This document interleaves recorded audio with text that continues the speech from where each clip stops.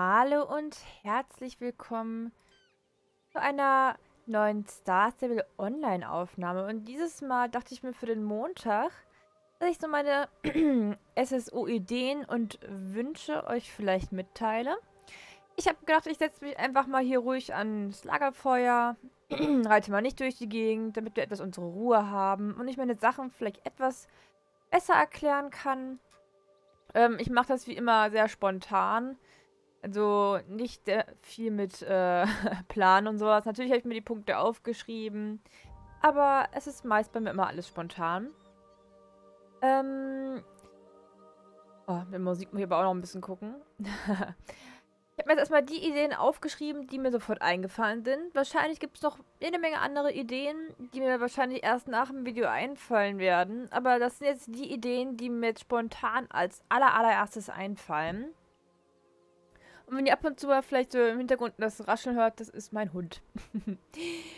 Kommen wir aber mit Wunsch oder Idee, äh, eher gesagt Wunsch, äh, 1 an mit dem Bosal. Ähm, das Bosal, was Starshine trägt, ähm, ich werde auch hier mal einblenden, was ich gebastelt habe. Editiere ich zum Beispiel sehr gerne. Dass das Bowser irgendwann bestimmt in SSO reinkommt, äh, glaube ich sehr hoch. Also ich denke daran, dass es, äh, also ich glaube, das ist sehr stark daran, dass es reinkommen wird. Weil wir hier auch, wie ihr sehen könnt, den Springsattel von Linda auch bekommen haben. Und es gibt einen, eine Grafikabteilung, der es geschafft hat.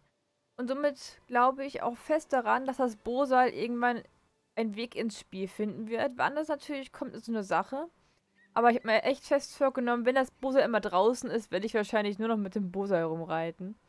Ähm, ob äh, die Sattel, also in Anführungszeichen Dattelgurt oder Voltigiergurt von Tinkan bekommen werden mit diesem Dattelpad.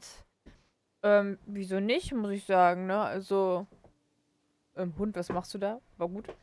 Ähm, wieso nicht? Also, ich sag immer noch, reitet bloß nicht im Real Life mit einem Voltigiergurt und, ähm, Steigbügeln und ein Sattelpad nur, weil das irgendwie eine komische Konstruktion ist. Aber ähm, für SSO im styletechnischen Sinne, wieso nicht?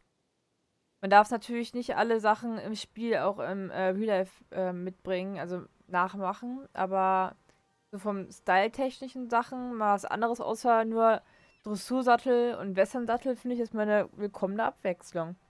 Also ich würde mich natürlich freuen, wenn das Bosal somit auch ähm, irgendwann ins Spiel kommen wird.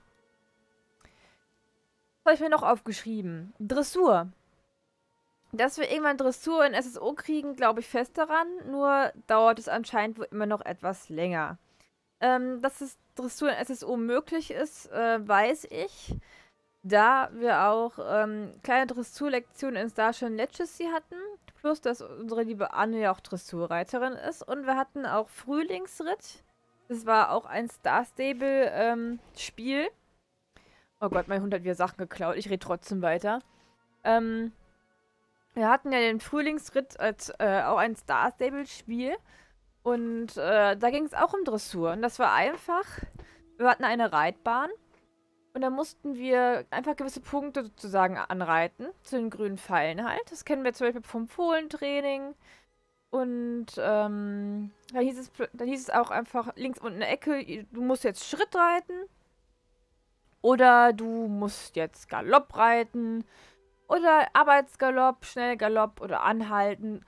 Ähm, mit Anna hatten wir das ähnliches, da mussten wir halt so gewisse Hufschlagfiguren reiten. Ich hoffe mal, ich blende das hier auch alles ein, damit ihr so eine Vorstellung habt, wie das vielleicht auch hier in SSO sein könnte. Aber ich dachte auch erst, okay, schade, dass wir noch kein Dressur haben. Nur um Dressur zu lernen, brauchen wir nicht unbedingt Anne, weil Anne ist ja nicht die einzige Dressurreiterin in Star Stable Online. Aber da Dressur einfach nicht kam, dachte ich mir, okay, vielleicht führen die das wirklich erst ein, wenn Anne wieder da ist. Und Anna hatten, haben wir vor mehreren Monaten schon gerettet und bis jetzt kam da noch nichts. Ich will nicht sagen, dass wir Niedriges zu kriegen werden. Ich glaube einfach irgendwie daran, dass SSO da an was bastelt. vielleicht das anders macht und die einfach noch nicht damit zufrieden sind und uns nicht was uns irgendwie, keine Ahnung, nicht eine halbe Arbeit dahin werfen wollen, weil, sondern dass die wirklich da an was Tolles arbeiten und was Schönes bieten wollen und deswegen einfach Dressur noch vielleicht noch gar nicht im Spiel drin ist. Daran glaube ich eher. Also, es wäre merkwürdig, wenn wir querfeldein, Western, Trailrit, ähm, Punkte abreiten, also diese, diese Kontrollpunkte, äh, Barrel Racing haben wir auch, aber kein Dressur, das glaube ich irgendwie nicht. Wann natürlich Dressur rauskommt, keine Ahnung, Leute. Das können wir nur Star Stable fragen. Und abwarten. Ich glaube fast irgendwie nicht mehr, dass wir dieses Jahr auf Dressur hoffen können, weil da noch andere Punkte sind, die ich jetzt wichtiger finden würde. Aber mein Gott, SSO überrascht uns immer und immer wieder. Ich sag nur, Golden Hills Überarbeitung, dann gefühlt drei Wochen später einfach mal. Ich kann eine Karte aufrufen, hier erst Golden Hills Überarbeitung und dann plötzlich nach drei, vier Wochen das gan die ganze Erntefeldprovinz überarbeitet. Das ist schon ein Brocken. Damit habe ich nicht gerechnet. Und SSO hat ja öfters mal Sachen gemacht, wo man einfach nie mit gerechnet hat. Das ist schon verrückt, ne? Deswegen, lasst uns einfach mal abwarten, wann Dressur reinkommt. Vielleicht dieses Jahr noch. Oder auch erst vielleicht nächstes Jahr. Wenn wir schon generell bei den Soul Riders sind, meine Wünsche wären, dass es äh, mehr Story-Quests gibt. Jetzt heißt es wieder ja, aber die müssen auch dran arbeiten. Also, klar, sie müssen dran arbeiten. Dass zum Beispiel, äh, man kann, es gibt da gewisse ähm, Abteilen in äh, in der Firma. Manche kümmern sich zum Beispiel um die Pferdegestaltung, manche konzentrieren sich auf die Story-Quest-Gestaltung und immer so weiter. Und dass nicht immer, immer Story-Quests kommen, verstehe ich, weil wenn jeden Mittwoch Story-Quests rauskommen würden, dann wären wir so flott fertig und das Spiel wäre, keine Ahnung, ruckzuck aus.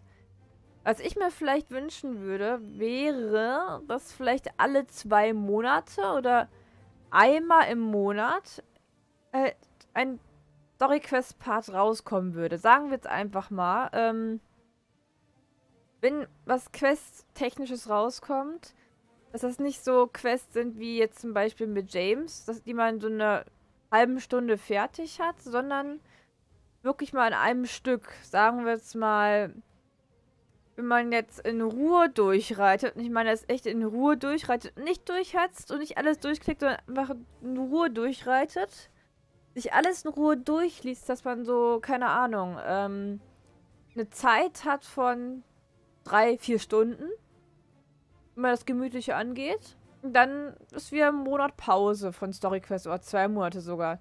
Dass so ein großer Batzen immer kommt. Und dann ist wieder länger Pause. Das habe ich sogar lieber, anstatt dass wir gestückelt was kriegen für 30 oder eine Stunde oder so und dann nach drei, vier Monaten erst wieder was hören. Das wäre mir vielleicht etwas lieber. Ähm, ich weiß, dass wir, wir hatten zum Beispiel, als wir nach Pandoria, Pandoria gegangen sind zum allerersten Mal, da hatten wir eine längere Zeit. Ach komm, Ronja, mach Platz. Mein Hund kann sich nicht still hinlegen. Da hatten wir schon eine längere Zeit. Ich will jetzt nicht sagen, dass die ganzen Story-Quests alle so schnell fertig waren. Das waren sie nicht. Wir hatten sogar mit der Anrettung war sogar so viel, dass sogar in Parts aufgeteilt wurde, was ich gar nicht mehr so schlecht fand. Ähm, klar, innerlich dachte ich mir auch, gibt mir alles sofort an einem Tag, aber ich kann schon verstehen, dass sie es in Parts, in Parts aufgeteilt haben. Oh Mann, Wortgulasch. Ähm, aber das würde ich mir vielleicht für die Zukunft wünschen, dass es heißt, okay, einmal im Monat bringen wir halt so einen Story-Quest-Batzen raus oder alle zwei Monate dafür nur. Noch generell, wenn neue Quests reinkommen, ist immer schön, wenn die Sachen zu Ende bringen. Epona gibt es, glaube ich, eine weiterführende Questreihe, die immer noch nicht fertig ist. Ähm, wir haben jetzt zum Beispiel auch noch mit, äh, mit ähm, Hermann und, äh, okay, gut, Hermann haben wir jetzt ja gerettet und Frau X Gibt es noch andere Teile in Erntefeld-Provinz, die auch nicht abgeschlossen sind, wo immer noch rätseln, wann kommt was. Die Kalter fehlen mir irgendwie. Die sind plötzlich einfach verschwunden. Da hat man nie wieder was von ihnen gehört. Es sind schon ein paar offene Sachen, wo ich mir denke, ja, es wäre schön, wenn da jetzt mal wieder was kommen würde oder nicht immer nur so, so ganz kleine Häppchen und dann nach sechs Monaten hört man wieder was davon oder nach einem halben Jahr. Also, äh, beste Beispiel war ja immer noch die Hermann-Rettung. Da haben wir Urzeiten nichts mehr von gehört. Der müsste ja eigentlich schon uralt und einen Rauschebart bekommen haben, wie lange der da bei der GED gehockt hat. Am Ende haben wir ihn ja trotzdem noch gerettet, aber diese langen Zeiten sind so, ha, hm. Gut, dafür kriegen wir jeden Mittwoch was. Manchmal ein bisschen mehr, manchmal ein bisschen weniger. Aber ich finde, wenn sie Quests rausbringen sollten, dann eben halt nicht nur diese ganz kurzen Sachen wie jetzt mit James. Obwohl James hat auch schon wie eine Stunde gedauert. Also wenn man das sich jetzt in Ruhe durchgelesen hat. Und die Tokensuche war ja auch schon... Die Tokensuche war zum Beispiel auch wieder was Nettes generell die Tokensuche war wieder was, wo ich lange mit meinen Mädels dran gehockt habe und äh, wir saßen da wirklich, glaube ich, den ganz, fast den ganzen Tag dran haben nach diesem Plüschdrachen gesucht. Ähm, klar, wir hätten sagen können, wir machen das jetzt nicht alles an einem Tag, dann hätte es länger gedauert, aber wir waren, fanden das so geil, dass es mal wieder schwerer war, dass wir wirklich es in einem äh, Tag geschafft haben. Und hat auch mega Spaß gemacht. Und da beschwere ich mich auch nicht, dass ich in einem Tag schon wieder alles durch hatte. Aber ich hatte trotzdem mega Spaß und das fand ich auch wieder toll. Das wäre auch cool, wenn da mal wieder, wenn dann Quest rauskommen, dass dann wieder vielleicht ein bisschen mehr kommt. Mit mehr meine ich jetzt nicht eine Stunde, sondern vielleicht mal wieder zwei, drei Stunden. Und ja, dann wäre ich auch wieder recht zufrieden. Klar, man kann nicht jeden Mittwoch Quests rausbringen das, davon rede ich ja nicht, dass sie im Mittwoch-Quests rauskommen sollen, aber ich hoffe mal, dass SSU es vielleicht so macht, dass wenn Story-Quests kommen, dass man wieder länger dran sitzt und dann vielleicht einen Monat Pause und wieder länger dran sitzt. Und nicht immer so eine Pause von fast vier oder fünf Monaten. Das ist schon, das frisst schon Zeit, finde ich.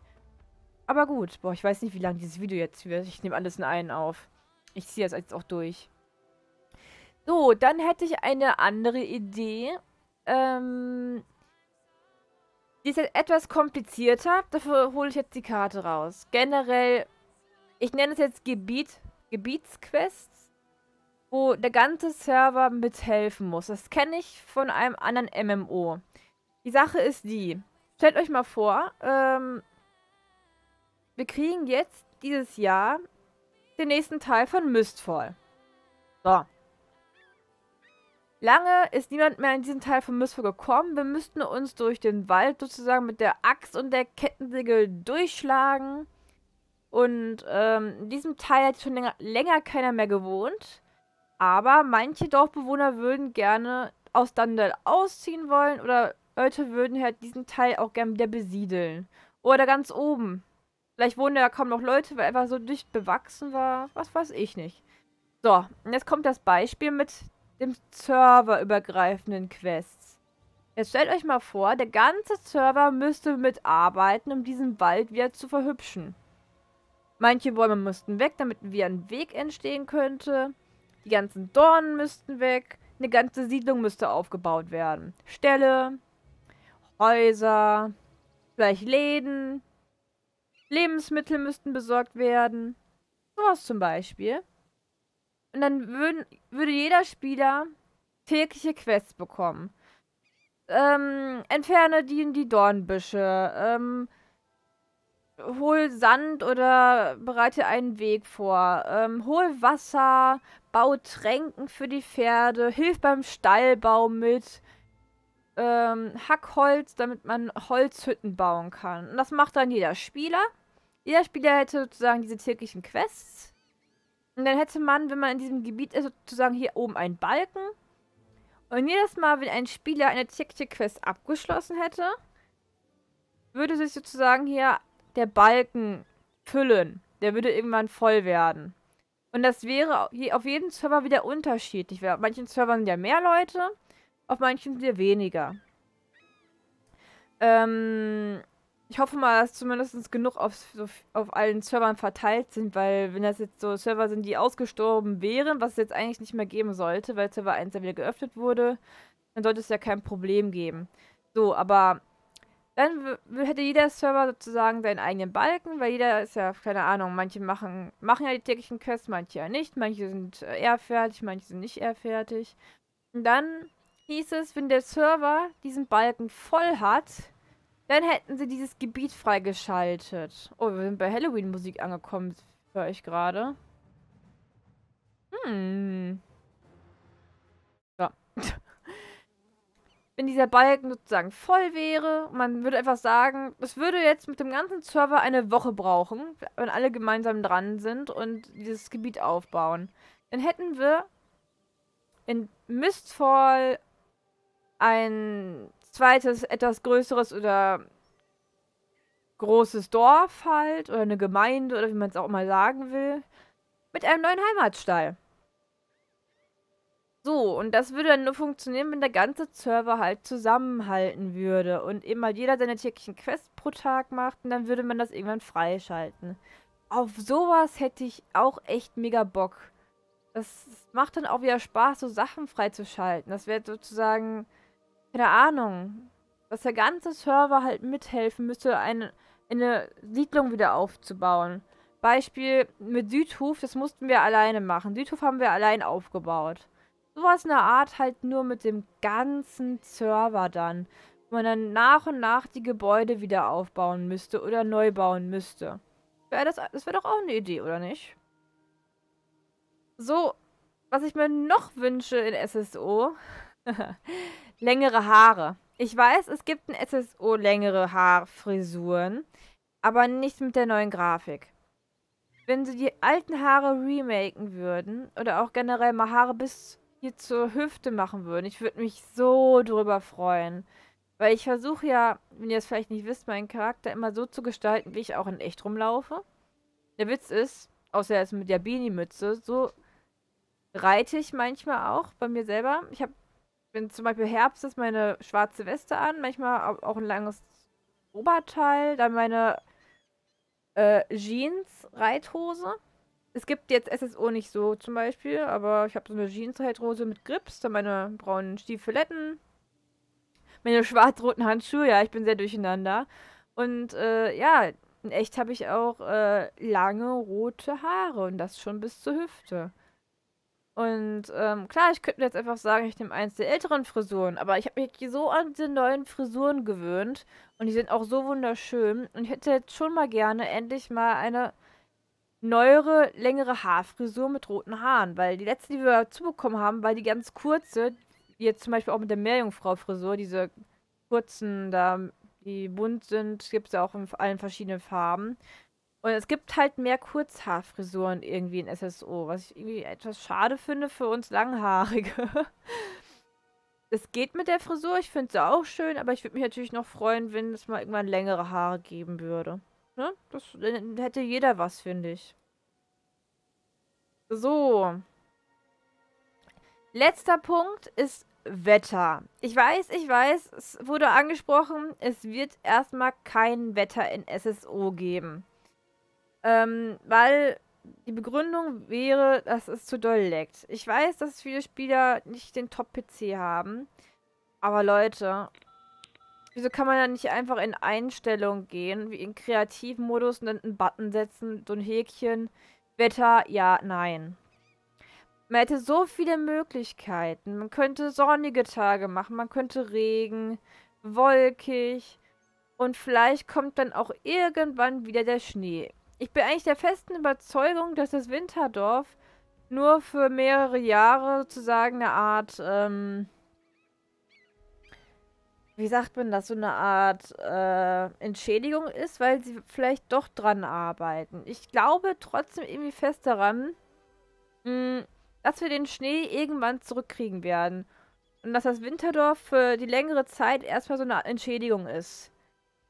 Weil, sagen wir mal so, jedes Jahr wächst das Spieleteam.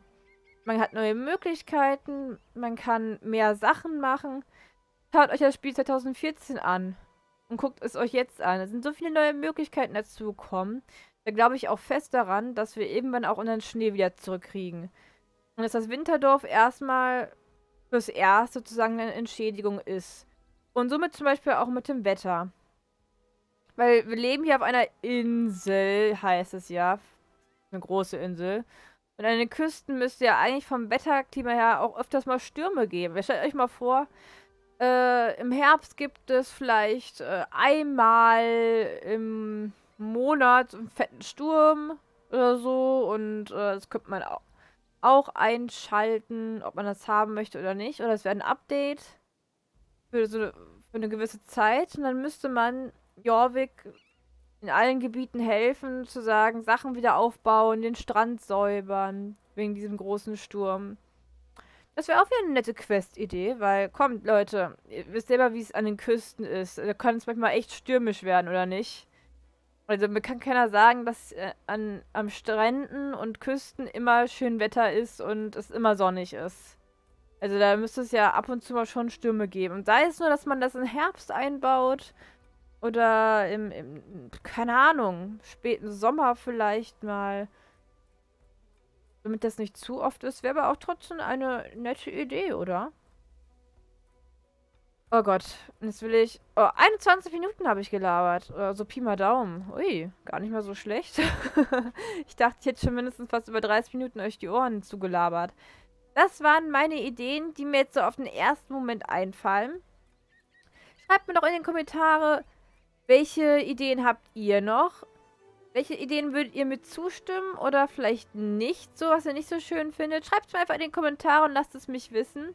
Ich würde einfach mal sagen, wir sehen uns dann zu einem nächsten Star Stable Online Video wieder. Also macht's gut und bis zum nächsten Mal.